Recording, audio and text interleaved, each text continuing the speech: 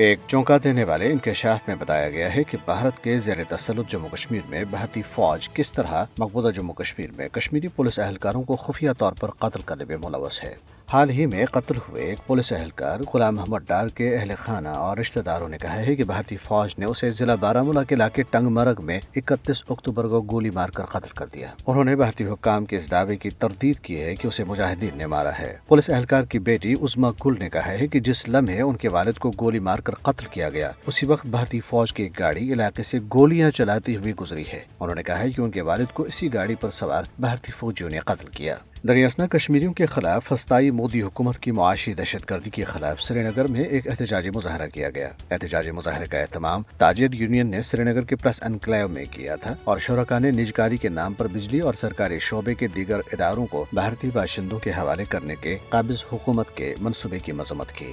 मुजाहरीन का कहना था कि इस इकदाम का मकसद एक तरफ़ भारतीय वजी अजम के साथियों को फ़ायदा पहुँचाना है और दूसरी तरफ़ कश्मीरी आवाम को लूटना। Communist party of India Marxist के रहनुमा मोहम्मद यूसुफ तारेगामी ने मुजाहरीन से खिताब करते हुए कहा है कि इस इकदाम का मकसद बिजली की मकामी तकसीमकार कंपनियों को खत्म करके कश्मीरी सार्फिन पर बैरूनी लोगों की इजारादारी कायम करना है। भारतीय काबिजीन ने आज जिला पुलवामा में मोबाइल इंटरनेट सर्विस मुअतल कर दी। कश्मीर जोन के additional director general police Vijay Kumar ने अमन अमान को खतरे का बहाना बनाकर इंटरनेट फराहम करने वाली कंपनियों को सर्विस मुअतल करने का हुक्म दिया। उधर पुंछ में एक भारतीय फौजी ने मुमकिन तौर पर खुदकुशी कर ली है। तहम भारतीय फौज ने कहा है कि नायक रोहन पटेल नामी ये फौजी कंट्रोल लाइन पर ड्यूटी के दौरान बेहोश होकर गिर पड़ा। उसे बादजा अस्पताल ले जाया गया, जहाँ उसे मुर्दा करार दिया गया। कुल जमाती हुर्रियत कॉन्फ्रेंस के तर्जुमान ने मसाले फलस्तीन की वजह से पैदा होने वाले इंसानी बहरान और आलमी अमन को लाक खतरात के दौरान श्रीनगर में जारी एक बयान में आर्मी बरदरी पर ज़ोर दिया है की वो मशरक वस्ता और जनूबी एशिया में बड़ी तबाही से बचने के लिए अकवा मुतहदा की सलामती काउंसिल की करारदादों के मुताबिक फलस्तीन और कश्मीर के तनाज़ात के हल के लिए अपनी कोशिशें तेज करे। इसराइली वज़ीर की जानब ऐसी गजा को जौहरी हमले की धमकी का हवाला देते हुए तर्जुमान ने अफसोस का इजहार किया है की इन दोनों तनाज़ात पर अकवा मुतहद की बेहसी ने दुनिया को एटमी जंग के दहाने पर ला खड़ा कर दिया है। मोदी हुकूमत ने जिला इस्लामाबाद में वाक़ हिंदू अमरनाथ गार तक सड़क तामीर की है, जिससे इलाके के पहले ऐसी नाजुक माहौल को संगीन खतरात लाक हो गए हैं। पी डी पी सरबरा महबूबा मुफ्ती ने इसे सबसे बड़ा जुर्म करार दिया।